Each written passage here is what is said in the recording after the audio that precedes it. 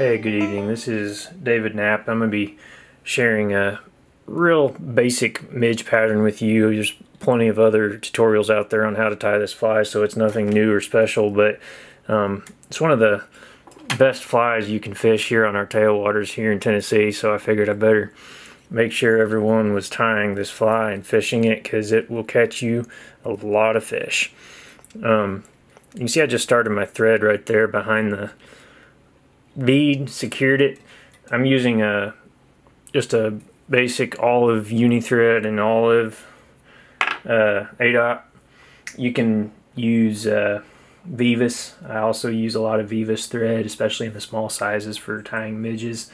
Um, tying this one a little bit bigger just so it shows up good in the video like we often do when we're tying tiny stuff. This is a 16, but typically I'm going to tie this fly in a 18 or even a little bit smaller and I use a Tiemco 2487 for pretty much all my midge tying. Um, the other thing you're going to need for this fly other than thread and a hook and a bead is small copper wire and it's just copper ultra wire. I use one and a half millimeter beads on my smaller flies 18 and down and this one I'm using a two millimeter just because it's a little bit of a bigger hook since it's a 16 so got the thread secured, ready to roll, and we're going to tie this fly and talk just a little bit about how we like to fish it. I'm using some wire here on the bottom of the hook and going to secure it right there and I'm going to keep that wire on the bottom so that I'm not getting a weird angles built into my fly as much as possible wrapping just a real consistent smooth taper. I like this fly under a dry fly as a dry dropper more than anything, but it also works really well in a nymph rig. In the Smokies, I'll fish it in the winter in particular. Uh, a lot of times there's nothing really hatching except maybe some midges, maybe some little black stoneflies, and um, in the winter, the fish aren't really doing much. Try dragging one of these behind whatever else you're going to fish, and you'll be surprised how many fish you'll pack, pick up on it in the mountains. Even though we don't typically associate the mountains with midge fishing, there's plenty of midges there. We just typically fish bigger bugs because the bigger bugs are there also. On the tailwaters, on the other hand, the midges are the primary food source for a lot of the fish, and you'll catch a lot more fish there if you are fishing midges and fishing them effectively and correctly. Um, you can see I've kind of just barely built up this front half or quarter or third of that um, body just a little bit to create a nice taper. I'm going to take the wire. I use my rotary feature a lot on this vise, but when I'm wrapping wire for a zebra midge, I feel like I get a much better consistent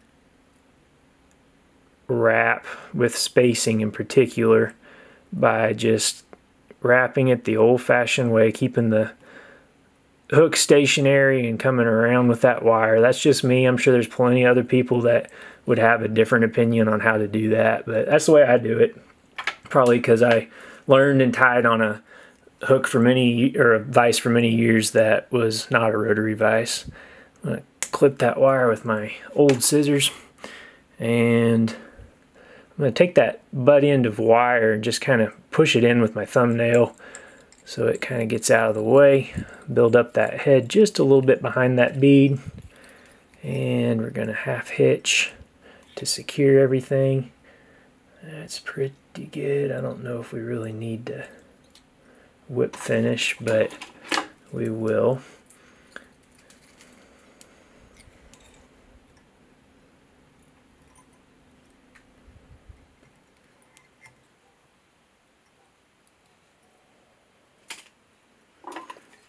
Looks pretty good right there and we'll catch some fish. One thing I really like doing with my zebra midges um, is finishing them with something beyond just a a uh, thread head finish. Um, I like a little glue of some sort and as I've mentioned in other other videos, Sally Hansen's Hard as Nails is, is really nice. You can also use some UV finish of some sort if you want. Doesn't really matter. The effect's more or less going to be the same. I'm just going to use a little bit of Sally Hansen's on this particular one. And the reason I do this, if you reinforce this fly, it'll catch a lot more fish than if you don't.